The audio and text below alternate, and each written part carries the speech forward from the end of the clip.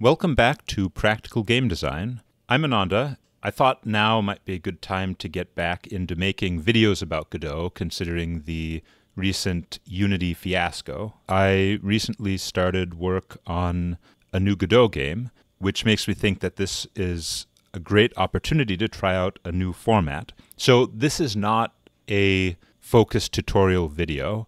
I'm not going to be explaining a single concept in detail. Instead, this is going to be more of a devlog. I'm working on this new game, Dungeonfall, and I just want to walk you through uh, recent things that I've added, problems I've run into, and generally my thought processes on working through some of these problems, which should hopefully help me to organize my thoughts. And I'm hoping it will also help you to get a better idea of just how you go about making games in Godot. I might make some focus tutorials later, um, but for now, I think this may be a more sustainable format for me. So, what you see here is the new game that I'm working on. I started it a few days ago, uh, I think two days ago. I'm calling it Dungeon Fall, although that might change in the future. The game, the core idea of the game is it's sort of like a dungeon keeper game. If you're familiar with, say, Dungeon Keeper 2, I think is the most famous one, but uh, using something more like pachinko uh, mechanics. You have a board of pegs, you have your dungeon, which is this deep pit, and there are heroes and monsters that you drop into the pit, and depending on where they land, different things will happen. So you can see there's this uh, priest character floating above the pit. And if I click, um, he falls down through the pegs. Right now, it's pretty bare bones, but my plans are that there will be different rooms that you can place in your dungeon uh, that have different abilities. And certain monsters will be better in some rooms than others. So you might be trying to drop your monsters into specific rooms. And then, of course, you want to drop heroes into rooms that have uh, monsters that are good against those heroes, or maybe the room is unfavorable to the particular type of hero. Like, for example, this priest character, maybe he's really good against undead monsters. So you want to try to avoid dropping him into a room with undead monsters. Um, and then at the bottom of the pit will be the dungeon core. And uh, if it dies, you lose, of course you can easily drop monsters uh, into the dungeon core to defend it, but it's also very easy for heroes to go there, so you have to be careful with that.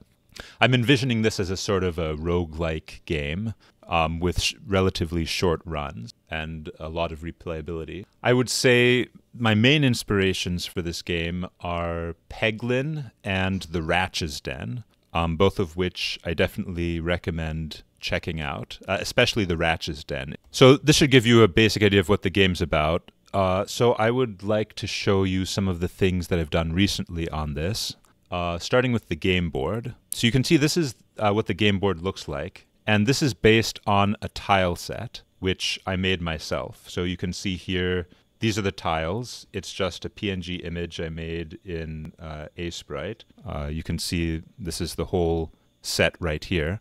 And uh, one of the things about Godot 4 is it's made really big improvements on the Godot 3 tile set editor. You may notice that these tiles are offset. If we go and look at the scene here, um, this is my test scene. It's just sort of a demo where I've uh, built this room.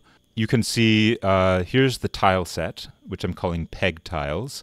And you can set different tile shapes. So I've chosen half offset square, but of course you can do a classic square setup, or you can do isometric. Um, obviously, these don't really work with the tile set that I've designed. Uh, or you can do a hex grid. So uh, lots of useful options here.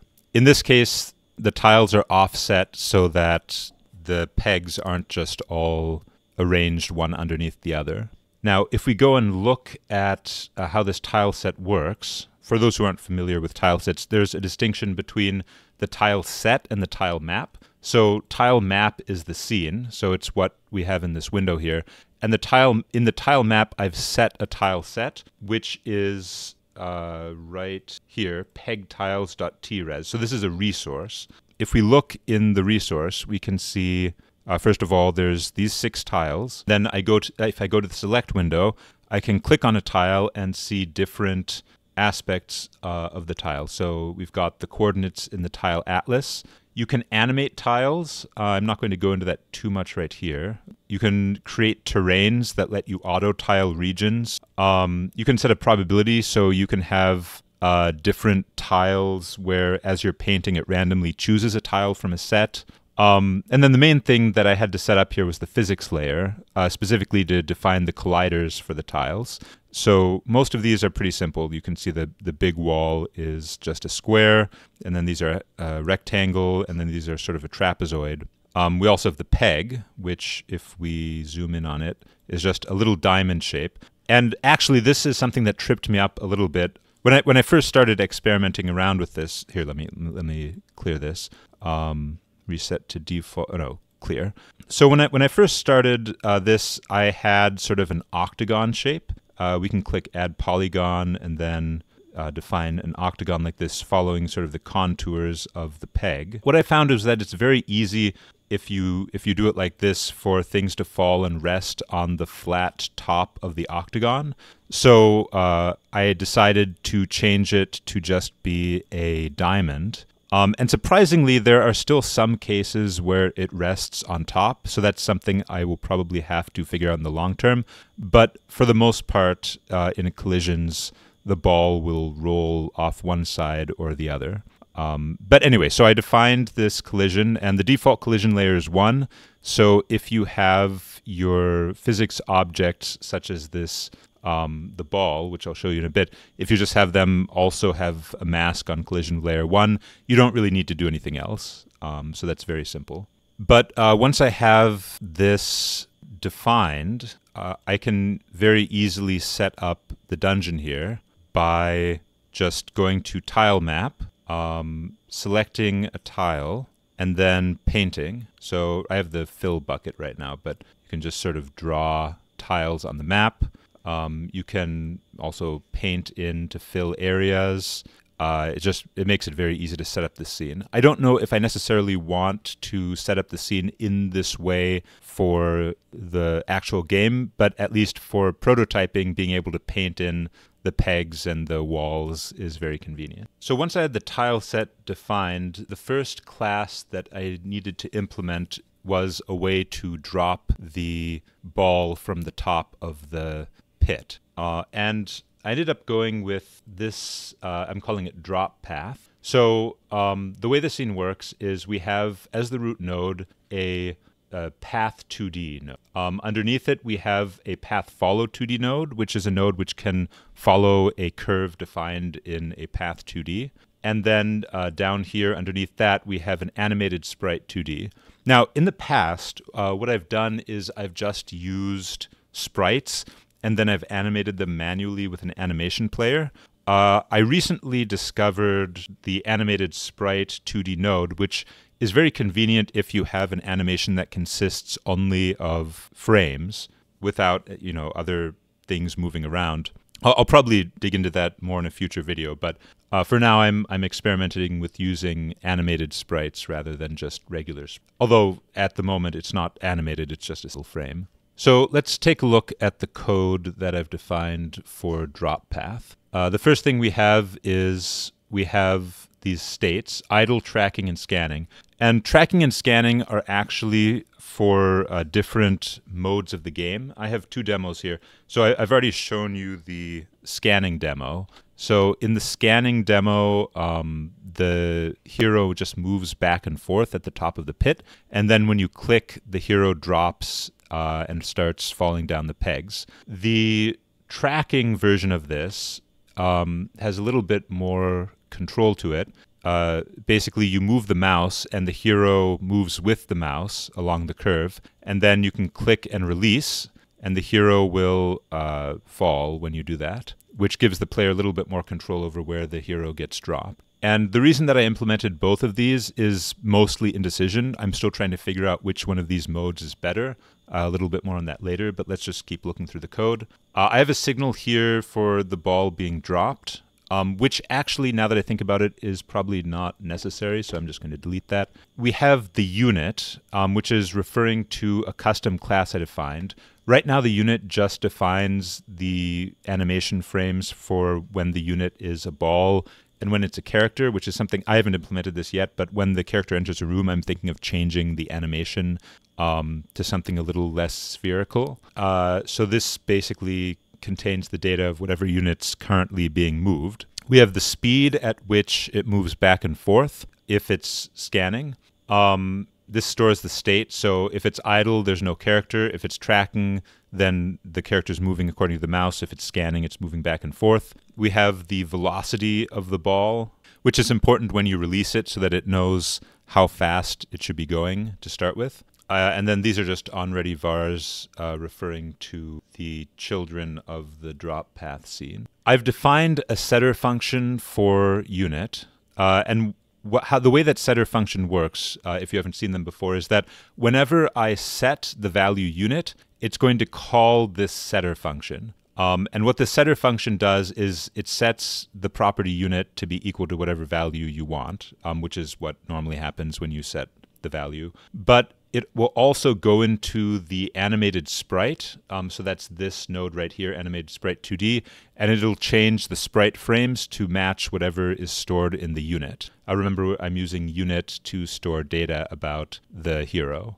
So, for example, when you call the function add unit, it's going to set unit to whatever the value is that you pass it, but in addition, it's going to call this set unit function. Uh, and the syntax for that is just you have your variable and then you do a colon and then set equals whatever the function is. Uh, then I have set state. Uh, this is a similar thing. Whenever you modify the state variable, it's going to call this setter function.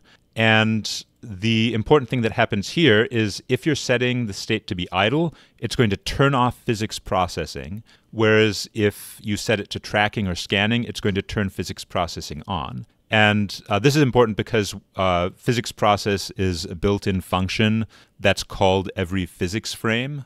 Delta is how long it's been since the last physics frame. And if physics process is off, it's not going to run any of this code. Uh, so when you're in the idle state, it will ignore this code. If you're in the tracking or scanning state, uh, depending on which state you're in, it will either uh, track the mouse position um, or it will have the hero at the at the top of the screen move back and forth uh, so that you can click on it when you want it to drop. And this is also where I compute the velocity based on how far the hero has moved since the last physics frame. We have uh, ready, which is called when uh, you enter the scene, and this just sets physics processing to false so that by default it's not going to be processing physics at all. Um, we have a couple utility functions here to get the ball position and the ball velocity, and a uh, function to get the closest point on the curve, which is useful for tracking to decide where the hero should be on the curve when we're about to uh, drop it into the pit.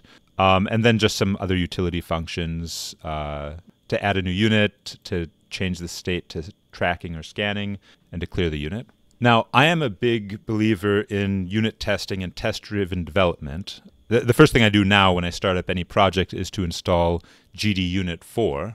Uh, and this is no exception. So I did create a drop path test, and I ran into some difficulties here. Um, this is testing the get ball velocity. Um, so if you remember, we have uh, the velocity of the ball is being set during the physics process based on how fast it's moving. My ball velocity tests creates a scene runner from drop path, and it defines a curve um, which is just a series of points between 0, 0 and 1000, 0. Uh, so this is the path that the hero at the top of the screen is going to move along.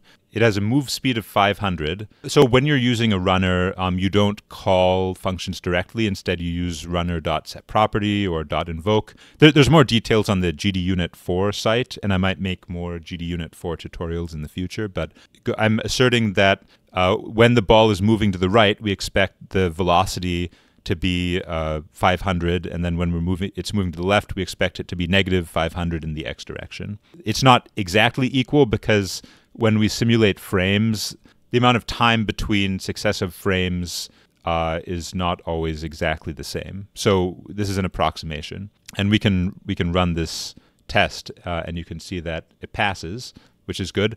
I also tried to make a test for the uh, get ball position. It, it didn't work in the sense that because of the differences in the frame simulation, I wasn't able to get a reliable result. Uh, so I still haven't figured out. Uh, oh, uh, get property list. Okay, there's there's an error in this test that I didn't notice before. I'm not going to deal with that right now, but the important thing is to create tests and use those to verify that your functionality is working properly. So let's jump over to the ball class. It is very simple. Uh, the ball class basically consists of a rigid body 2D, uh, a sprite representing the character, and a collision shape, which is a circle of radius 10 pixels. If we go and look in the script for ball, uh, all it has is it contains data on the unit, and this is again linked with a setter function, which sets the unit, but then also uh, sets the the uh, sprite frames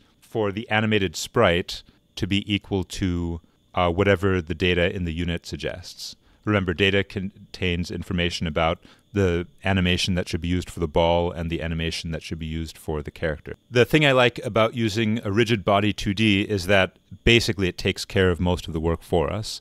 It already has gravity built into it, so all we have to do is create it and let it fall, and then when it collides with something, we would trigger some function. So this is a very simple way to make characters to fall into the pit. Another neat thing is uh, if you look in units, um, you can see I have the script for unit, which is very simple. It's just a data container. But then I also created a specific uh, priest unit. I can then define the frames uh, over here in the editor. And I could just create a separate unit for each of the characters. So, for example, if I want to create, say, um, I can say create unit uh, of this type, call it, I don't know, um, warrior. I don't actually have an animation for it yet, but if I then click on it here, um, you can see ball frames is empty. I can just drag this, uh, which would be the presumably the warrior animation over here, and that's it. Now I can use this uh, as data when I'm generating characters. So the resource system makes it very easy to define templates and then use them to just create a bunch of uh, data that your other classes can read. So that's most of what I've accomplished so far in terms of implementation. The only other thing uh, I want to talk about is a couple of difficulties. So, one difficulty that I've had so far is that when running this, uh, the heroes tend, when they enter the pegs to keep going in a particular direction. Um, so, for example, here you can see it. Oh, well, okay, that one changed direction. Okay, well, I, I say this was a difficulty and now it's not happening anymore. So uh, maybe I'm worried about this for nothing. But um, one thing I was observing was characters just going down uh, in a straight line, and then that's a little bit too predictable. I, I may need to work out the physics of that. Uh, it's affected by the spacing of pegs, the size of the balls, and the gravity constant.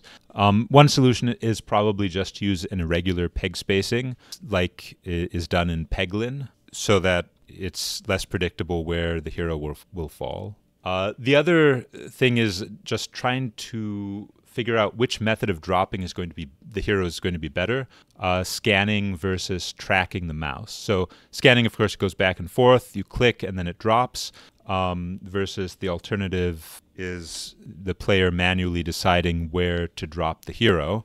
Um, so this is manually choosing the drop point scanning is nice because the controls are easier you just do a one button click and it's based on timing rather than positioning. But I am a little bit worried about uh, player agency because, of course, a game like this is already going to have a lot of randomness. The player wants to be in control of some things, and the, the question is is dropping the hero based on timing uh, depriving them of too much agency uh, as opposed to dropping the hero where you want to. So that's something I need to figure out. But that's pretty much where I am uh, for now in the game.